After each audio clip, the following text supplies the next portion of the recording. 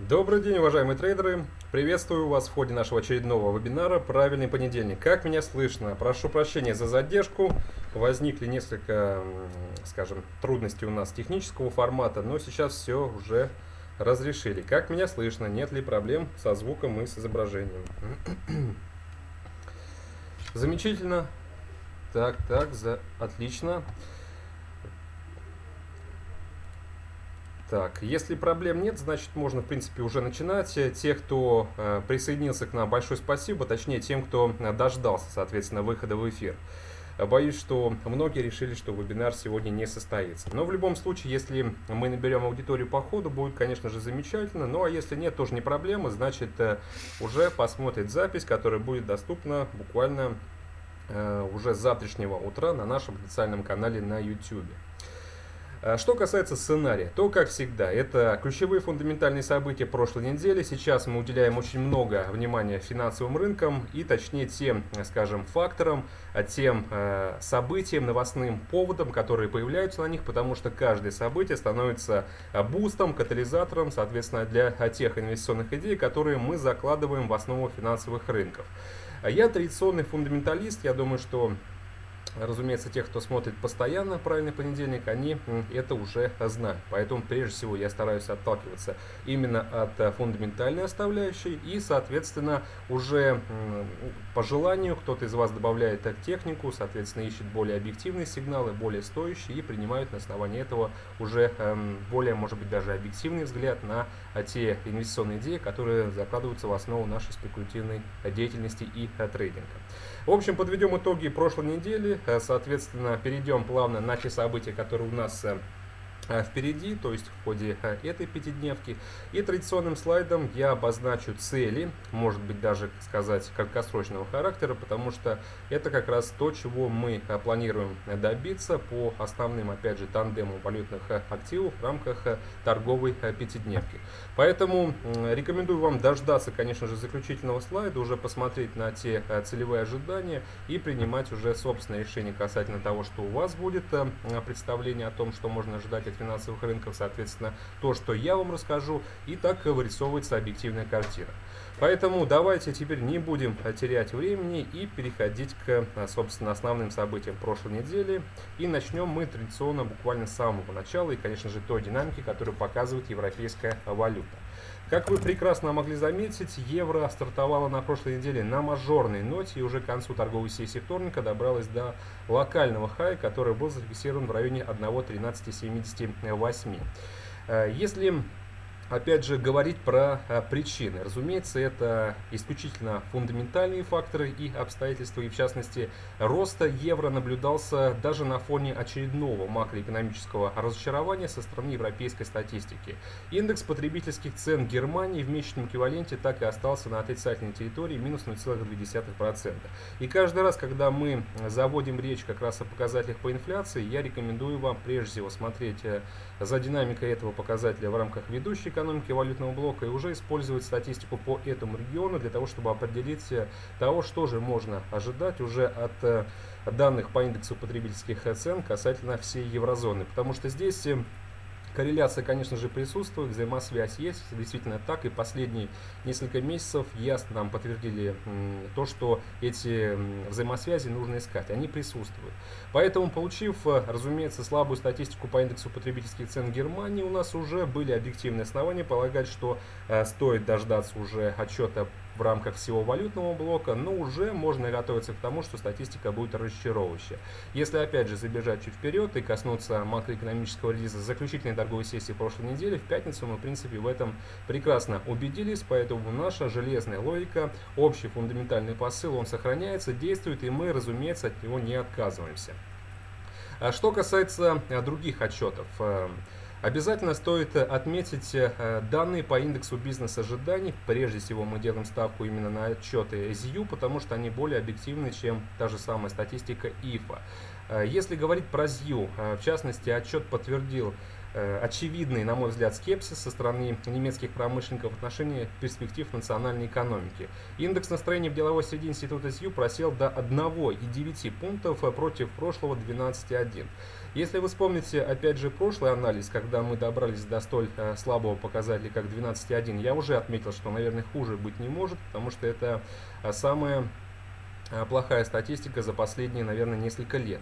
И вот э, по факту мы получаем то, что индикатор реально просел еще э, сильнее. И значит у нас, учитывая то, что в целом фундаментальная картина не меняется, есть основания дождаться еще более Э, к сожалению, удручающих макроэкономических данных, что в целом будет создавать дальнейшие долгосрочные основания для снижения и коррекции главного валютного риска, потому что рано или поздно евро все-таки будет отталкиваться от того фона, от той макроэкономической картины, которая идет со стороны еврозоны, потому что национальный актив должен реагировать именно на макроэкономическую статистику, которая э, характеризует в целом и показывает состояние общего национального макроэкономического сектора и прежде всего данных э, по промышленному производству и, соответственно, темпах экономического расширения. А что касается ЗЮ, я думаю, что Э, на фоне э, того анализа, который мы проводим, по сути, каждый брифинг, то есть внимательно, детально оцениваем, оцениваем общий фундаментальный фон, эм, не уверен то, что кто-то сомневался в том, что мы увидим, в частности, такую слабую статистику. Потому что действительно, если индекс, эм, опять же, института ЗЮ, доверия, бизнес-ожидания указывает на то, что все в плане настроения хуже некуда, значит, в принципе, это уже объективная ситуация в рамках экономики в целом, и на то есть свои определенные предпосылки. Не стоит забывать также о том, что э, несколько недель назад мы очень много э, посвящали э, внимания как раз скандалу вокруг немецкого э, автогиганта Volkswagen. В частности, этот скандал еще продолжает резонировать в состоянии национального фондового рынка. И, в частности, я уверен, то, что Volkswagen, этот инцидент с экологическими стандартами, он будет создавать угрозу для темпов экономического восстановления всего валютного блока, потому что в целом на Volkswagen держался весь промышленный сектор Германии. Германия это локомотив валютного блока, а значит можно говорить то, что это слабость, характерная и для еврозоны. Э, плюс ко всему, не забывайте о том, что э, очень скажем, много месяцев мы уже уделяем внимание и э, слабости развивающихся рынков, и здесь уже в основу всего закладываются э, слабые макроэкономические данные по Китаю, и эту слабость мы проецируем опять же на общие темпы восстановления мировой экономики, видя то, что объективных оснований для улучшения картины и, соответственно, э, изменения вот этого негативного позиционирования, которое мы закладываем на рынке, на позитивное русло, их попросту нету. Поэтому цепляемся за каждый макроэкономический отчет, прежде всего Китая, и стараемся как раз найти, может быть, хоть какие-то, может, далеко, скажем, идущие последствия макроэкономического характера, для того, чтобы Китай спустя какое-то время нашел основание и показал хоть мизерные, но все-таки предпосылки для экономического расширения. Но, к сожалению, последние месяцы это один исключительный негатив, что в целом позволяет нам и дальше позиционно делать ставку на ослабление, э, разумеется, рисковых инструментов, ну и искать э, поддержку именно э, тех активов, которые являются традиционной защитой для финансовых рынков. Это, разумеется, доллар, на который мы активно делаем ставку в плане роста, но еще несколько, скажем, валютных активов, такие как швейцарский франк и японская иена, но здесь уже отдельная инвестиционная идея, о которых мы, собственно, поговорим чуть позже. Если вернемся к Китаю, то, разумеется, стоит э, вспомнить опять же те э, сценарии поведения э, трейдеров и инвесторов, которые присутствуют на финансовых рынках и которые становятся реальностью по причине, опять же, слабых макроэкономических данных. Здесь сценарий самый типичный, наверное, самый прозрачный и простой. И в случае, если мы получаем слабые макроэкономические данные по Китаю, мы видим повышенный спрос на защитные инструменты, а франк, золото. И э, это в целом оказывает поддержку еще европейской валюте, потому что евро у нас традиционный инструмент для э, валютного, скажем, для финансирования операций керри трейда. И евро это валюта фондирования, которая как раз используется для того, чтобы залезть в защитные инструменты. Поэтому тогда, когда на рынке вы видите э, рост главного валютного э, риска, то есть евро. Если вы видите позитивную бычью динамику по фунту и смотрите на фундамент, который реально этому не способствует, значит э, тут же можно обращать внимание на статистику по Китаю и искать уже все ответы там, потому что зачастую, разумеется, именно этот сценарий становится определяющим в поведении главного валютного риска. А если, опять же, будем говорить про первые торговые сессии э, прошлой недели, то э, мы, разумеется, видели э, рост европейской валюты. Но, как я уже отметил, национальный фундамент этому росту явно не способствовал, поэтому мы уделяли больше внимания именно статистике по Китаю. И в целом находили все ответы там.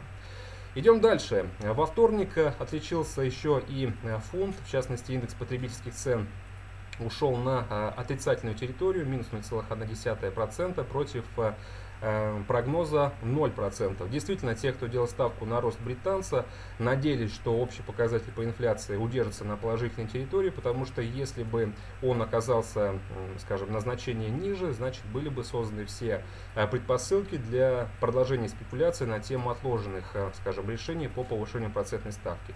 И долгосрочно фундаментальный фон именно в таком ключе реализовался, даже несмотря на то бычье ралли, которое мы наблюдаем по британцу, а сейчас мы все равно прекрасно понимаем то, что у нас э, есть достаточно предпосылок, указывающих на то, что э, потенциально фунт э, все-таки остается в числе аутсайдеров. И самое главное, просто дождаться той локальной слабости, которая должна стать э, действительно триггером и катализатором движения этого актива. И как только мы этого дождемся, разумеется, результат э, позволит нам получить тот профит, на который мы надеемся и который мы ожидаем в течение длительного периода времени.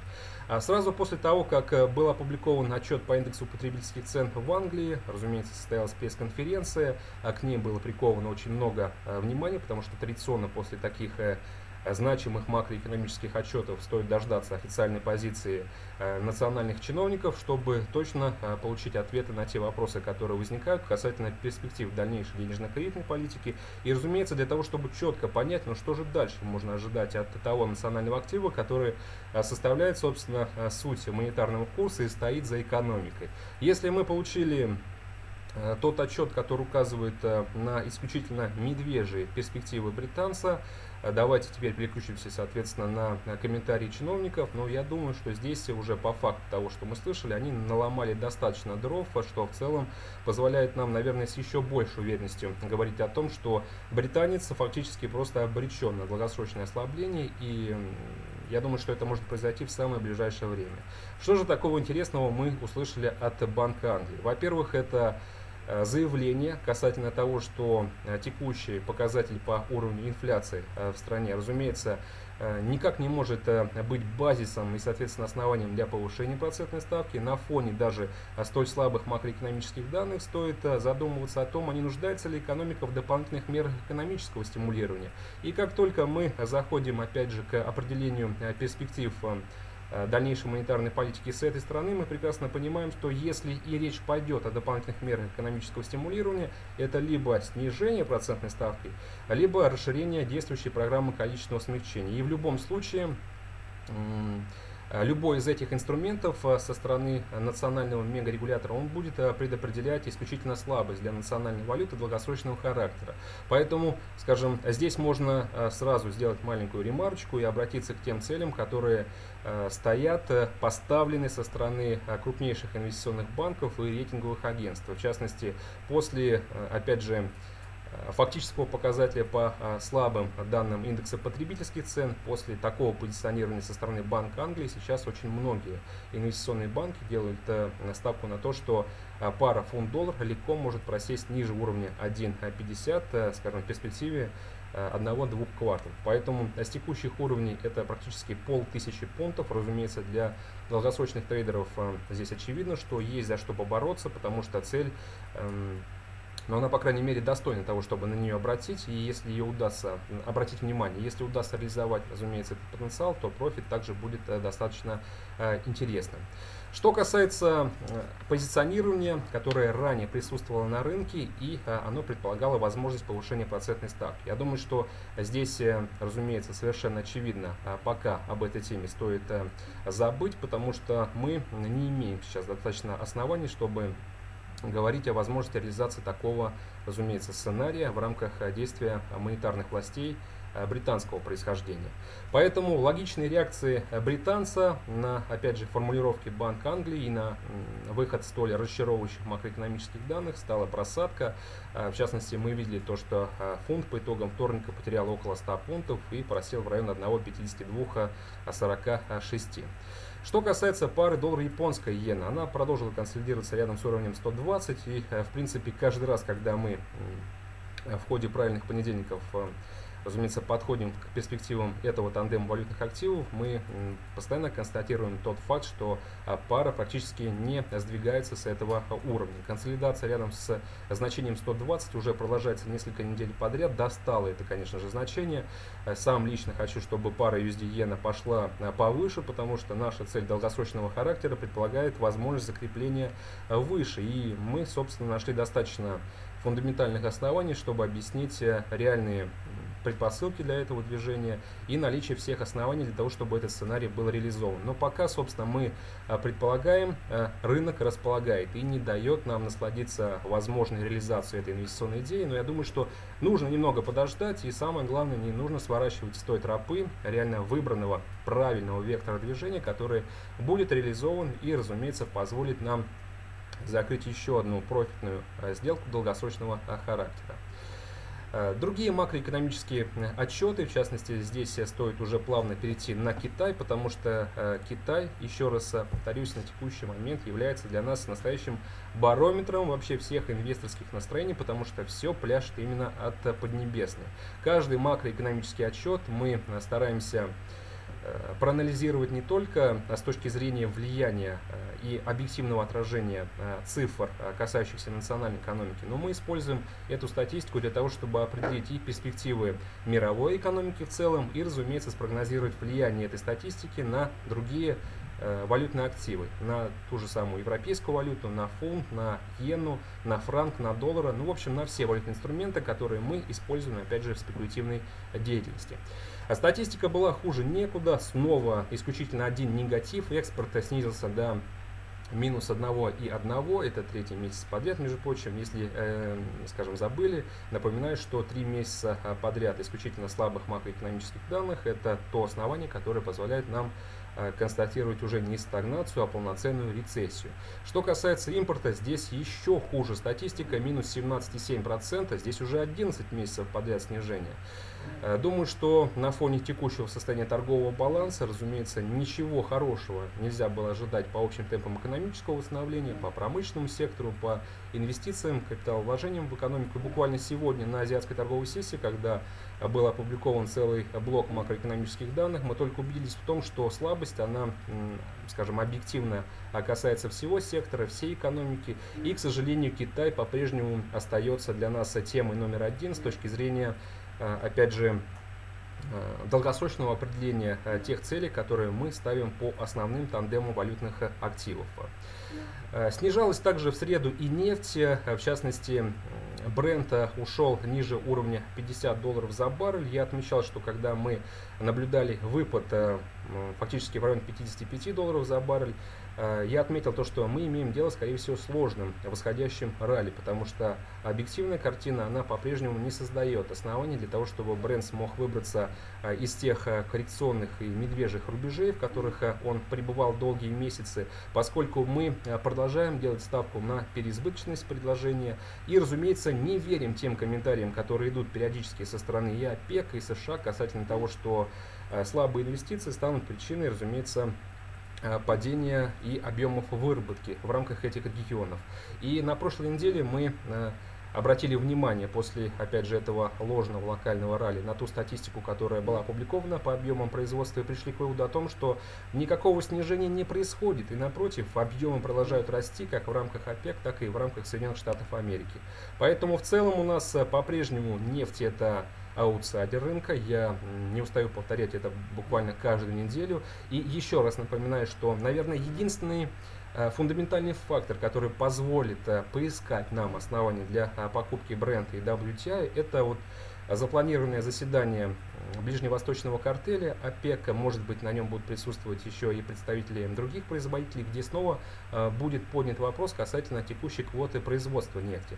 На текущий момент она находится на уровне 30 миллионов баррелей в сутки, а фактически объем уже существенно ее превосходит. И если уже в декабре мы получим объективное свидетельство со стороны того, что Эту квоту нужно корректировать, потому что вроде бы как и ОПЕК тоже заинтересован в соответствующих высоких ценах на нефть. Тогда да, мы э, изменим э, собственному позиционированию и будем искать э, возможностей и уровней для покупки. Но пока до декабря еще очень много. Давайте не будем, скажем, абстрагироваться от реально стоящего фундамента, который а, позволяет создавать достаточно хороших и привлекательных оснований для долгосрочной продажи бренда. И я снова повторяю, что наша ближайшая цель предполагает возможность коррекции этого актива а, в район даже 45 долларов за баррель, потому что, по моему субъективному мнению, дно мы еще не а, достигли. А в среду ситуация э, только ухудшилась, по крайней мере с точки зрения интереса инвесторов к рисковым инструментам. В частности, европейская валюта добралась до уровня 1.1488 и на рынке стали всерьез поговаривать о том, что пара евро-доллар, вопреки э, присутствующим фундаментальным обстоятельствам, реально нацелилась на локальные э, хаи, которые были, собственно, зафиксированы в момент краха китайского фондового рынка. То есть если мне не изменяет память, опять же, локальный хай по евро-доллару был в районе 1,17, даже 1,17 небольшим. И когда пара добралась до отметки 1,15, ну действительно, до уровня 1,17 там рукой было подать. Но, э, опять же, основания для коррекции евро присутствовали, потому что мы все прекрасно понимали, что европейская валюта растет э, исключительно не под воздействием национального макроэкономического фона, потому что в рамках еврозоны каждый э, день мы констатировали, ну, каждую неделю это уж точно, констатировали исключительную слабость как промышленного сектора, сектора услуг, темпов экономического восстановления. И вот э, скажем, последним гвоздем в крышку гроба э, всего валютного блока стала статистика по инфляции, потому что здесь уже реально можно закрыть глаза на какие-либо вообще э, темпы экономического восстановления. Их, я думаю, что не будет, э, наверное, на протяжении ближайших двух-трех кварталов и до тех пор, пока Европейский центральный банк не сможет найти достаточных инструментов, чтобы разогнать общий показатель уровня инфляционного давления. И опять же, планомерно возвращаемся к теме э, дополнительных мер экономического стимулирования, без которых ЕЦБ не справится. Но это затяжная долгосрочная идея. Я э, также э, предлагаю вам ее не упускать из вида, руководствоваться ей, потому что если проигнорировать ее сейчас, как только она станет реальностью, вы можете просто упустить очень хорошую сделку, направленную на ослабление главного валютного риска. Если говорить про э, статистику исключительно валютного блока, э, в частности, еще конца прошлой недели, у нас была возможность проанализировать состояние промышленного сектора еврозоны. И здесь, как я уже отметил, основа слабый макроэкономический отчет, потому что промышленное производство просело на 0,5% в месячном эквиваленте против прошлого роста на 0,8%. Годовой показатель 0,9 против прогноза 1,8.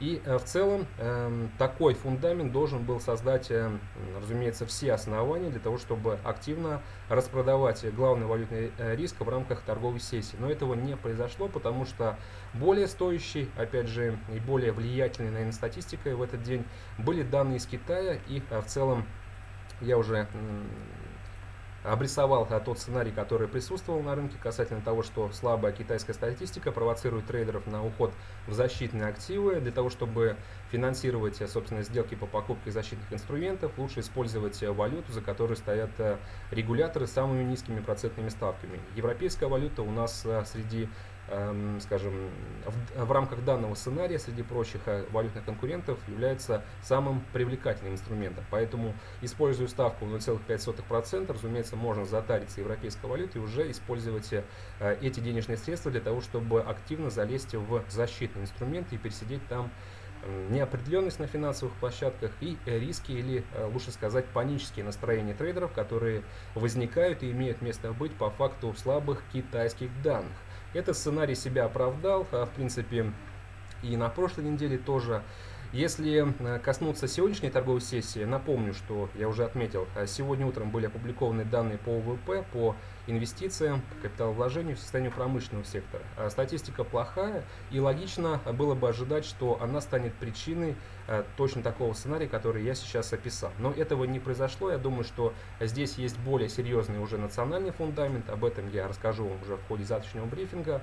Но отмечу также, что речь идет пока о вербальных заявлениях касательно дополнительных мер экономического стимулирования со стороны Европейского центрального банка. В общем, готовимся к решительности ЕЦБ и, э, быть может, уже 22 октября, то есть в этот четверг, Европейский Центральный Банк перестанет стоять в сторонке и, наконец-таки, э, даст э, участникам рынка и, разумеется, тем трейдерам, которые делают ставку на снижение и коррекцию главного валютного риска, то объективное фундаментальное основание, за которое стоит зацепиться и, соответственно, сделать ставку на сел, разумеется, европейской валюты против, я думаю, что, можно сказать, буквально всех основных своих конкурентов. Идем дальше. Что касается динамики американской валюты э, в среду, э, по причине, опять же, э, перетока капитала и инвестиций в японскую валюту из-за спроса на защитный инструмент, американец был вынужден сдавать, слабеть. Это также вполне предсказуемый сценарий. Но я не считаю то, что, опять же, эта слабость будет иметь долгосрочный э, характер и э, стоит отказываться, соответственно, от покупок американца. И даже текущее значение, то что э, пара USD-иена консолидируется недалеко от уровня 120, но чуть выше уровня 119, реально создают те основания, чтобы полномерно делать долгосрочную ставку на роста именно соответственно, американской валюты. Но стоит дождаться только подтверждения дополнительных сигналов, а в качестве таких можно отметить комментарии представителей ФРС, которые буквально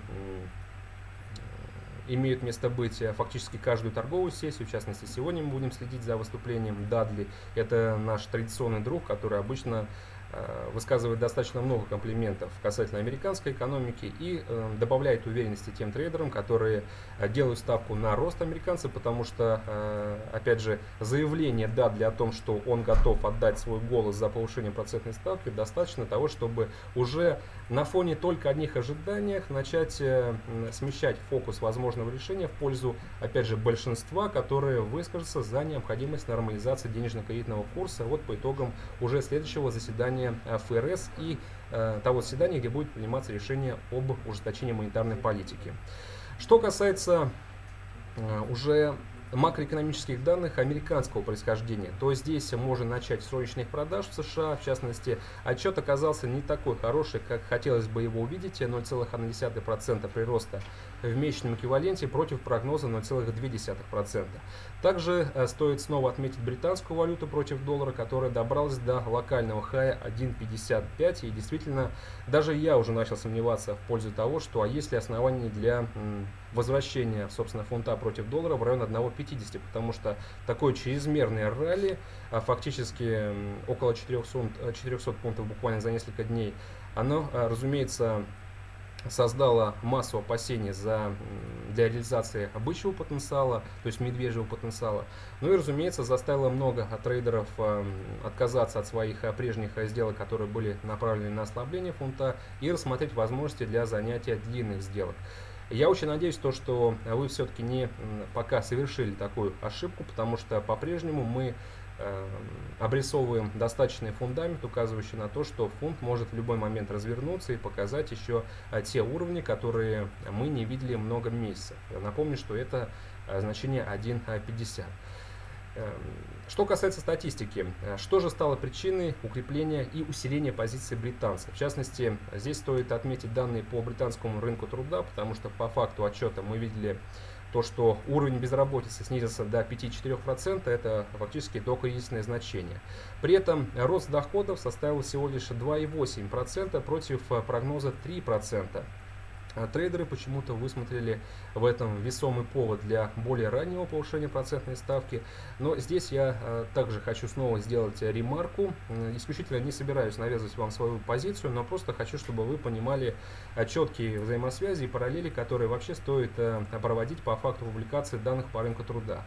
А ставка по безработице, уровень безработицы, действительно, здесь э, позитив очевиден. 8 лет мы не видели, 7 лет мы не видели такой хорошей статистики, но э, вопрос заключается в том, что мало, то, мало просто показать, нужно еще и, э, соответственно, удержаться на этом значении. Но поскольку параллельно с этим отчетом были опубликованы данные о том, что количество безработных увеличилось, я думаю, что уже следующий показатель, то есть по итогам октября, укажет нам на то, что уровень безработицы снова поднялся, может быть на 0,1 или на 0,2%. Теперь, что касается роста доходов. Исходя из классической экономической теории, действительно, рост доходов, если он оказывается на достаточно высоком уровне, 2,8 это неплохо, конечно же. Э, в частности, американские э, статисты просто мечтают о таких показателях. По Британии это уже э, реальность, свершившийся факт. Но 2,8% это слишком мало для того, чтобы разогнать показатель по индексу потребительских цен. С чем это связано? Потому что это связано с тем, что Параллельно с э, ростом заработных плат для выхода, опять же, общего показателя по инфляции на целевые значения, э, общая производительность должна слабеть. Но сейчас в рамках Британии она растет примерно на 1,5%. А значит, если целевой показатель в 2% по индексу потребительских цен, рост производительности 1,5%, значит, чтобы действительно создать условия для разгона индекса потребительских цен, нужно, чтобы зарплаты росли примерно на 3% ежемесячно. Э, или даже лучше сказать на 3,5%. Это уж наверняка и точно. Если бы мы увидели 3,5%, тогда я бы первым дал сигнал на то, что от э, слабости британца, от идеи, предполагающей возможное ослабление фунта, стоит отказываться, и э, можно вставать в долгосрочные затяжные лонги по паре фунт-доллар. Но э, фактический отчет не 3,5, а 2,8. Это мало, чтобы вывести показатель потребительских цен на целевой показатель, на целевое значение в 2%. А значит, э, на макроэкономический фон эту статистику можно смело закрыть также глаза и все-таки прекрасно понимать, что у нас э, достаточно оснований, у нас э, более объективный взгляд и реальные цифры, указывающие на то, что э, фунт все-таки является сейчас ложным с точки зрения покупок активом и самое главное просто сейчас не поддаться на это всеобщее рыночное заблуждение. Держать свою позицию, разумеется, не изменять своему собственному позиционированию, потому что с точки зрения, опять же, логичного обоснования, с точки зрения актуального фундамента, ожидание ослабления фунта это правильная позиция. От нее не нужно ни в коем случае сейчас отказываться. Что касается других инструментов, в частности, Э, можно тут плавно перейти к торговой сессии четверга, потому что мы э, в прямом смысле в четверг имели уже дело с обратной тягой. Э, в частности, в четверг после затяжного роста начали проседать уже и фунт, и, и евро, и австралийцы, новозеландец. Слабеть стала, в частности, и японская иена, и создала достаточно оснований для роста американской валюты. Коррекция евро началась с самого утра, и причиной, э, по сути, изменения э, фактической траектории э, движения главного валютного риска стали комментарии Э, представителя Европейского центрального банка, еще по совместительству э, председателя Банка Австрии Вальда Навотный. В частности, он высказался в пользу того, что Европейский центральный банк фактически в одном шаге от решения по расширению программы количественного смягчения, и, быть может, это решение мы услышим в этот четверг. Собственно, мы настраивались на эту дату уже давно, и сейчас видим то, что э, возможность такого сценария подтверждается уже и еврочиновниками. А что касается Э, интерпретации, опять же, этих заявлений и э, того, что имел в виду Наводный. Разумеется, он э, имел в виду необходимое задействование более агрессивного выкупа активов и, разумеется, увеличение действия текущей программы количественного смягчения. Может быть по срокам, ну или еще лучше, конечно же, по объемам. А сегодня мы имеем дело с программой количественного смягчения в 60 миллиардов евро в месяц. И если ЕЦБ все-таки решит быть проактивным, программа количественного смягчения может прибавить легко еще миллиардов 15-20, соответственно, добраться до 80 миллиардов евро в месяц, что потенциально в перспективе двух, э, двух с половиной лет э, расширит баланс Европейского центрального банка больше, чем на 2 триллиона евро и, соответственно, создаст серьезное основание долгосрочного характера для коррекции главного валютного риска. Если э, это решение будет анонсировано уже в этот четверг, разумеется, Здесь э, даже Китай уже не поможет евро, потому что бороться с таким перевесом фундаментального характера евро уже не сможет. Потому что если раньше э, все трейдеры и участники рынка гадали, что этот сценарий может быть реализован, то его фактическая реализация, разумеется, поставит под сомнение э, все идеи, которые предполагают рост главного валютного риска и откроет дорогу только для реализации средних долгосрочных, соответственно, инвестиционных идей, предполагающих ослабление э, пары евро-доллар, и это ослабление может быть э, весьма значительным. Напомню, что программа количественного смещения по факту своего запуска в марте 2015 года стала причиной ослабления пары евро-доллар больше, чем на 400 пунктов. То же самое может в принципе случиться и сейчас. Самое главное не потерять возможность занятия короткой сделки по евро-доллару по самому комфортному и выгодному уровню. И чем выше евро-доллар торгуется сейчас, тем, соответственно, больше у нас возможностей, чтобы а, поискать и, а, собственно, найти этот хороший и максимально привлекательный уровень. Я рекомендую вам рассмотреть, опять же, перспективы евро-доллара а, с точки зрения возможностей этого сценария. И не забывать о том, что мы все-таки имеем дело сейчас с серьезным, имеем дело с серьезным фундаментом, который указывает как раз на возможности просадки евро-доллара ниже уровня 1.10. То есть сейчас э, с текущих значений это больше 200 пунктов, но если евро-доллар сможет уйти ниже э, поддержки 1.10, там уже, наверное, даже с точки зрения техники будут маячить э, все условия для того, чтобы пара просела даже в район 1.05. Ну и если это уж произойдет, тогда мы снова будем возвращаться к совсем уж долгосрочным инвестиционным идеям со стороны инвестиционных банков, которые Э, прочат э, на долгосрок для пары евро-доллара движение даже в район э, паритета. Но это не скоро еще, скажем так, мягко говоря. Нам достаточно пока все-таки получить сигнал со стороны ЕЦБ о том, что есть причины для слабости. Если мы его получим, тогда уже сможем, разумеется, эффективно распорядиться этим фундаментальным фоном и прокатиться на долгосрочные коррекционные идеи по главному валютному риску. Теперь, что касается э, снова данных э, по США. Э, стоит обязательно сказать про статистику, которая была посвящена уровню инфляции. Это самый важный макроэкономический релиз, наверное, после протоколов РС и фактически решения по ставке. Потому что если мы не видим реальных оснований для того, чтобы ФРС переходил уже к ужесточению монетарной политики, значит нам нужно искать те основания, которые те а, факторы и э, ту поддержку, которая может все-таки стать причиной изменения позиционирования и изменения мнения от Джанет Йеллен, то есть это председателя ФРС. Э, и в качестве такого здесь стоит обязательно отметить данные по инфляции, потому что, судя по позиции голосующих членов, именно слабая Э, слабые данные по индексу потребительских цен в рамках США и являются ключевым сдерживающим обстоятельством, не позволяющим э, выйти на решение по нормализации денежно-кредитной э, политики.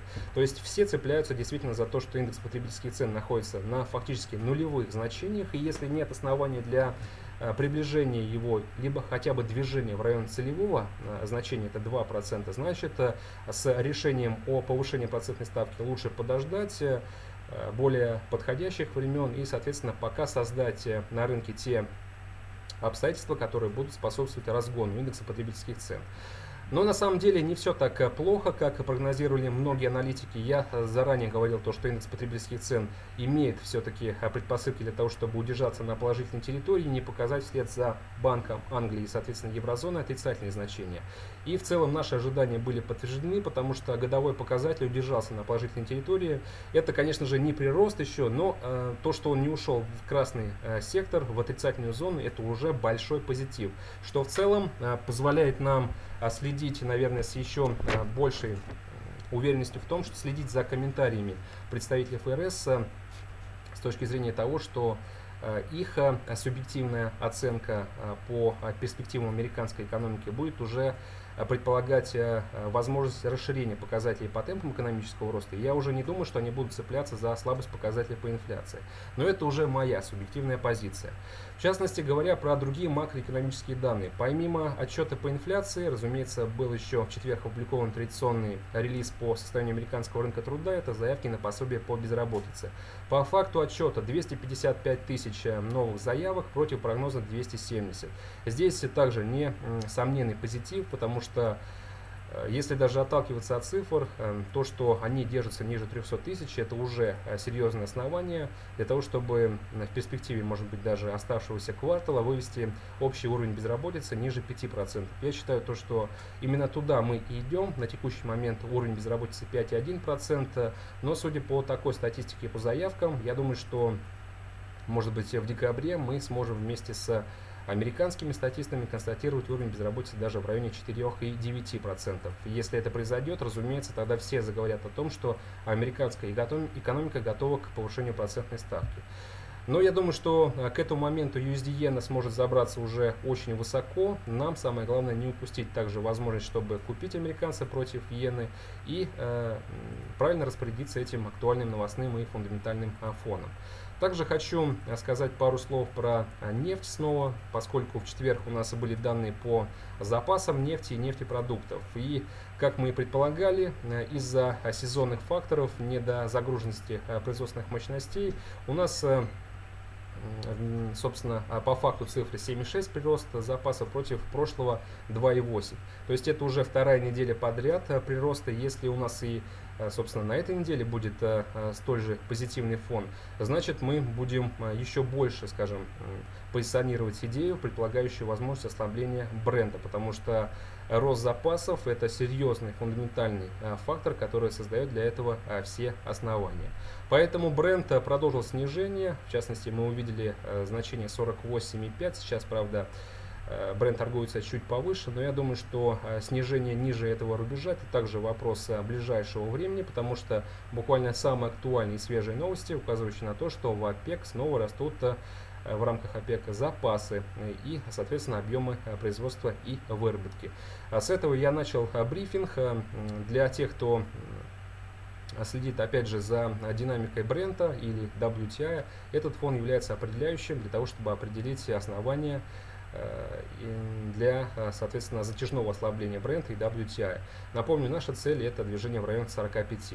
Ну и что касается заключительной торговой сессии прошлой недели, здесь у нас э, статистика по инфляции в еврозоне, в частности, годовой показатель ушел Э, ниже, эм, соответственно, нулевой отметки и э, по факту минус 0,1%. А значит, у нас э, слабые данные по Германии подтвердились уже через слабую статистику всего валютного блока, и мы получили еще один сигнал в пользу ослабления евро. Теперь нам, собственно, остается только дождаться четверга, посмотреть за позиции, разумеется, Европейского центрального банка. И хотелось бы, конечно же, получить все-таки подтверждение, ну или, по крайней мере, хотя бы какой-то вербальный намек на то, что ЕЦБ будет наконец-таки действовать и э, перестанет томить, вводить, соответственно, Э, за нас участников рынка и анонсирует те самые меры, которые мы с вами ждем уже, наверное, месяца три. Это меры, которые предполагают расширение программы количественного смягчения. Что касается важных отчетов этой недели.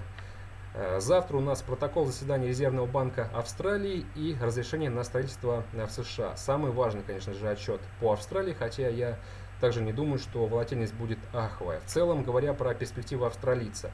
Еще раз напоминаю, что на прошлой неделе мы уже получили достаточно скажем, свидетельств того, что австралиец будет позиционно слабеть. Почему? Потому что коммерческие банки стали активно повышать ставки по ипотеке, что в целом а, ужесточает, опять же, общую монетарную картину на внутреннем рынке и провоцирует Резервный банк Австралии, чтобы нейтрализовать эти негативные последствия, действовать на опережение и снижать процентную ставку. То есть до конца этого года с 90% вероятностью мы увидим еще один шаг по смягчению экономической политики, что в целом может отобрать у австралийца против доллара не меньше, наверное, 150-200 пунктов. Наша цель это движение по паре out USD, э, соответственно, ниже уровня 0.70, я отмечал то, что есть даже шансы зацепиться за э, поддержку в районе 0.68. Что касается среды, здесь э, также отчетов не так уж и много, и в частности, самый важный из них это решение Банка Канады по процентной ставке. Но еще стоит отметить Э, изменение запасов нефти и нефтепродуктов. Э, в целом я уже отметил, что есть ожидания касательно того, что запасы снова подросли. Если это так, значит будем также тотально делать ставку на сел по бренду. И я думаю, что увидим э, в конце этой недели значение даже ниже, гораздо ниже текущих и актуальных ценовых рубежей. Что касается Банка Канады, то вряд ли, конечно же, канадский мегарегулятор сейчас пойдет на Э, снижение процентной ставки, потому что вроде бы как и позитив на рынке недвижимости еще прослеживается, но и для того, чтобы э, перейти к такому агрессивному шагу экономического стимулирования, нужно точно убедиться в том, что э, прежнего шага недостаточно, потому что низкие процентные ставки, они также не совсем благоприятно сказываются на экономике. Сейчас канадскую валюту, точнее за последнюю неделю, вытягивали только котировки цен на черное золото, потому что Канада, собственно, так же как и другие сырьевые экономики, зависящие от стоимости сырья, Эм, действительно ориентируются прежде всего на актуальные э, цены по ключевым нефтяным активам и, э, собственно, позиция национальных валют пляшет уже от реальной картины, э, складывающейся вокруг нефти. Сейчас, если мы сделали ставку на ослабление бренда и WTI, значит у нас есть также серьезные предпосылки, опять же, логичного характера ожидать слабости от канадской валюты. То есть по USD CAD мы снова ждем движения пары в район 1.35, это долгосрочная идея. И до конца этого года мы непременно должны увидеть еще одно снижение процентной ставки, но произойдет это с большой долей вероятности не в эту среду, а, а позже, в этом году, то есть, э, наверное, в декабре уже. Что касается четверга, здесь э, э, сессия, скажем, основная в рамках этой недели, потому что в четверг у нас долгожданное решение ЕЦБ по процентной ставке и, что еще важнее, это пресс-конференция и комментарии Европейского центрального банка по, соответственно, дальнейшему вектору монетарной политики. Ставку не изменит, но нас интересует программа количественного смягчения, о чем я, в принципе, уже говорил. Соответственно, если в ходе пресс-конференции Марио Драги, председатель Европейского центрального банка, скажет о том, что без э, более агрессивного выкупа активов ЕЦБ уже не может бороться с низкими показателями по инфляции, значит будем готовиться к распродажам европейской валюты. И вероятность этого сценария очень высока, потому что за последнее время, э, особенно после слабых данных по индексу потребительских цен, у нас э, реально достаточно фактов, э, статистики, э, предположений, опять же, мнений участников рынка, которые создают условия для долгосрочной распродажи главного валютного риска. Стоит только теперь дождаться официальной позиции монетарных властей, но вряд ли они будут отнекиваться, скажем, и выступать против расширения программы количественного смещения после того, как годовой показатель по индексу потребительских цен закрепился уже в дефляционной зоне. Здесь, э, наверное, крыть уже нечем. Э, вопрос будет э, задан напрямую. Вы понимаете, что в случае промедления потребительская активность будет и дальше слабеть, и, соответственно, создавать риски для экономического расширения. Думаю, ответа на этот вопрос не последует. И единственное, что ЕЦБ сейчас может сделать, это все-таки, опять же, быть э, проактивным, быть более решительным мегарегулятором и, разумеется, думать на перспективу, понимая, что промедление сейчас может создать еще большее количество рисков на будущее. Поэтому ждем все-таки этих прорывных решений, долгожданных поводов, которые позволят нам приблизиться к нашей долгосрочной идее по паре евро-доллар и все-таки э, просесть в район 1,10. Ну и что касается пятницы, здесь помимо данных по индексу деловой активности в производственном секторе маркет еврозоны, э, будут еще опубликованы данные по инфляции в Канаде, э, аналогичный отчет по деловой активности в США, но самый важный релиз это производственный сектор э, по Китаю, потому что напомню, что именно прошлый релиз PMI Кайкин Китая стал причиной чрезмерного роста главного валютного риска, потому что спровоцировал очень много паники среди участников рынка касательно перспектив общей мировой экономики. Если промышленный сектор просядет сейчас, значит помимо того, что у нас уже есть э, фактические цифры того, что ВВП Китая также полномерно просел до 6,9%, но из-за слабости промышленного сектора можно будет замахиваться на цифры еще ниже. Если это случится, соответственно, этот сценарий реализуется, значит э, снова повысится привлекательность франка, японской иены э, и э, производных финансовых инструментов, прежде всего американских облигаций. А вот э, европейская валюта от этого может только выиграть. Но здесь Стоит опять же отметить события четверга, которые мы по сути уже проехали. Все-таки если в четверг мы услышим то, что хотим услышать, по факту более агрессивных действий по экономическому стимулированию, этот фон, э, признаюсь, будет еще более существенным. Поэтому на Какин, э, может быть, даже э, этот показатель можно будет проигнорировать, но это также не факт. Все-таки все будет зависеть от четверга. Но в любом случае, каждый день у нас проходят брифинги. Я, разумеется, с удовольствием буду вас всех там видеть. Э, не пропускайте их, потому что каждый день это актуальные э, цифры, актуальная статистика и, разумеется, тот фундаментальный фон, который и создает, формирует настроение на э, всех финансовых рынках. Ну и как обещал, прогнозы по основным валютным парам это евро-доллар, аут USD, USD иена и фунт против доллара. Вы сейчас их видите на своих экранах. Евро-доллар 1.1250, аут USD 0.72, доллар японская иена возможно, доберемся до сопротивления 120-50, но что касается фунта, здесь стоит сделать большую ставку на возможность ослабления этого рискового инструмента.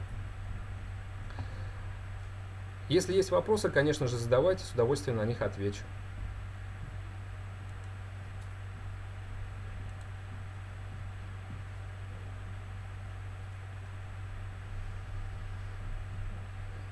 Да, так получилось, извините, пожалуйста, конечно же. Столкнулись мы с форс-мажором не, скажем, преодолимой силы. Завтра все будет в привычном формате, и мы, э, соответственно, продолжим их снимать.